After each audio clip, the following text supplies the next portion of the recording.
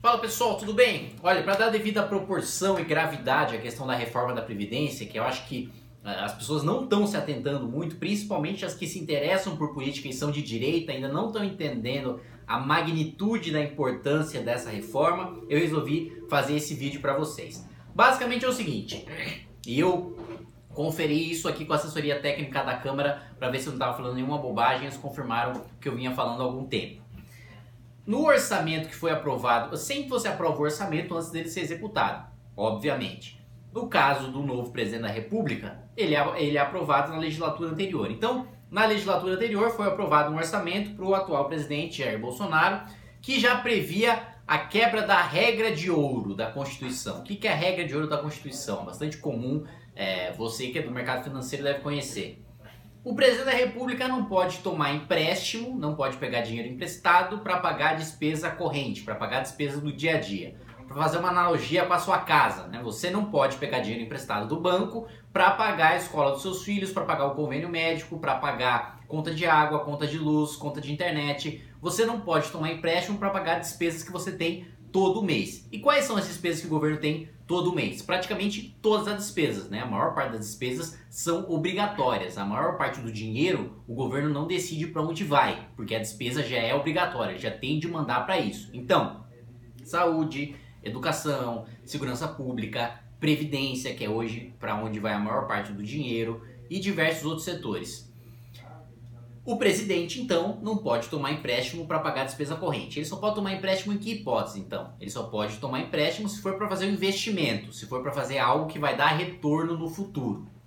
Pois bem, no orçamento do ano passado, então, tem a previsão de que o presidente, neste ano, quebraria a regra de ouro e o Jair Bolsonaro, nosso presidente, neste momento já está quebrando a regra de ouro conforme previsto no orçamento do ano passado. Qual que é o problema disso? O problema disso é que a regra não existe à toa. Não é simplesmente, ah, quebrou, tudo bem, ah, tá quebrado, fazer o quê? É a vida. Não. Quebrar a regra de ouro, você precisa pedir crédito suplementar para o Congresso Nacional. Você precisa pedir dinheiro para o Congresso Nacional. Você precisa pedir autorização para fazer esses empréstimos, basicamente, para que a regra de ouro é, não seja ignorada e para que o presidente sempre tenha que pedir para o Congresso Nacional essa autorização em caso é, dessa quebra da regra de ouro está prevista no orçamento.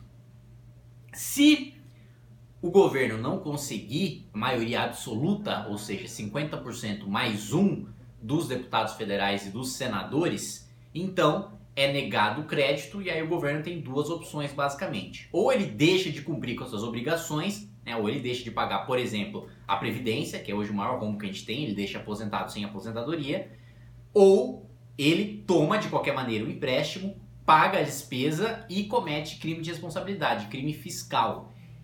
E o que, que, isso tem a ver com a reforma da Previdência? A reforma da Previdência hoje é basicamente a única maneira que a gente tem para equilibrar as contas públicas, a única maneira que a gente tem de fazer com que o presidente, no curto, médio prazo, tenha dinheiro para pagar as aposentadorias, tenha dinheiro para pagar o salário dos servidores públicos, dos médicos, dos professores, dos policiais, é, dos promotores, dos juízes, etc., de todo o funcionalismo público, dos faxineiros, dos garis. Esse é o dinheiro, o dinheiro da reforma da Previdência que o governo é, pode ter para financiar todos esses gastos. Se o governo não aprovar a reforma previdenciária, primeiro, é uma demonstração de fraqueza política muito grande, né? porque é uma reforma que o governo defendeu, que o governo encampou e que seria derrotado no Congresso Nacional. Então, uma derrota seria péssima para o governo e significaria que reforma tributária ou uma nova reforma trabalhista, uma reforma do Pacto Federativo, tudo iria para o buraco porque o governo não teria força política para fazer isso. E segundo, que é o mais preocupante, o governo não tendo essa força política e num cenário econômico ruim, porque não aprovando a reforma da Previdência, aí vocês podem esperar caos, vocês podem esperar dólar a 6 reais, vocês podem esperar a bolsa caindo aí 20 mil pontos, um negócio assim, uma crise pior do que do governo Dilma, e não estou exagerando, não estou brincando. Pior do que o governo Dilma, porque o governo Dilma ainda tinha certo dinheiro para gastar, ainda tinha certo fôlego, certo tempo para fazer a reforma que o governo Jair Bolsonaro não tem, né? Ele pegou um país muito pior do que aquele que a Dilma pegou no seu segundo mandato. Então, isso significa que se a gente não aprovar a reforma previdenciária, muito provavelmente o governo Bolsonaro não vai ter força para aprovar o crédito suplementar, o que significa que vai estar tá cometendo um crime de responsabilidade o que significa que será passível de impeachment. Poucas pessoas têm pensado nisso, têm falado nisso, mas é importante a gente focar e ter a completa noção do que está em jogo na política brasileira hoje. Se não for aprovada a reforma previdenciária, o governo Bolsonaro tem grandes chances de cair, tem grandes chances de ser derrubado. E essa é mais uma das razões pelas quais é tão fundamental a gente aprovar a reforma da Previdência. Porque se não aprovar, a economia vai para o buraco e o presidente cai. E qual que é a narrativa que vai ficar para o público? Né? O público não sabe o que é regra de ouro, o público não sabe o que é orçamento, o público não sabe o que é lei de diretrizes orçamentárias, o público não sabe o que é crise fiscal, o que é crime fiscal. Ele simplesmente entende aquilo que aparece superficialmente na imprensa e ele vê pelas uh, uh, efetivamente uma vez ou outra vendo rede social sobre, sobre política. Qual que é a imagem que vai ficar? Bom, a direita bateu, bateu, bateu, bateu no governo de esquerda, e aí o governo de direita foi um fracasso, teve uma crise econômica pior que o da esquerda, foi lá e derrubaram o presidente da república porque ele cometeu crime.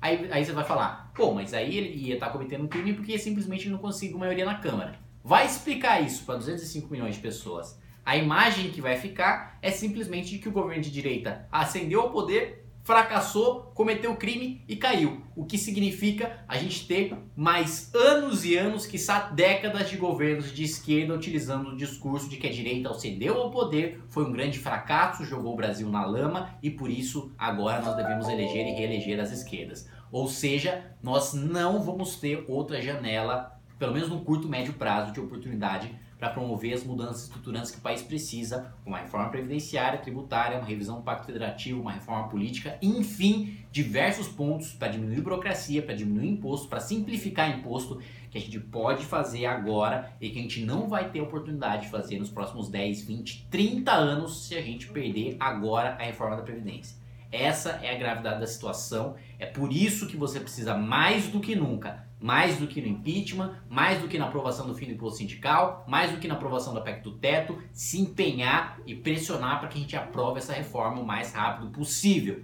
São as próximas décadas do país que estão em jogo e já tem muita gente preparando as malas para sair do país. E se as melhores mentes continuarem saindo do país e a gente continuar nessa crise econômica e continuar sem perspectiva de melhora, aí essa história de país do futuro nem vai existir mais. Agora a gente já vai se lembrar, ah, lembra daquela época que a gente pensava que o Brasil ia dar certo? É, pois é, passou e há muito tempo. A gente não pode deixar isso acontecer e para isso a gente precisa da sua ajuda.